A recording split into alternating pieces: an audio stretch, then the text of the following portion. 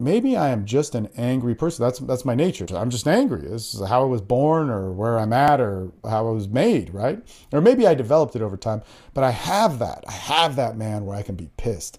But here's the thing what do I do with it? How does it control me? Can I still have all those great invisible virtues of love, compassion, purpose, sharing, just the joy of having a family? Can I have that value, that beautiful value that I can't see? You know, can I still have that? Absolutely.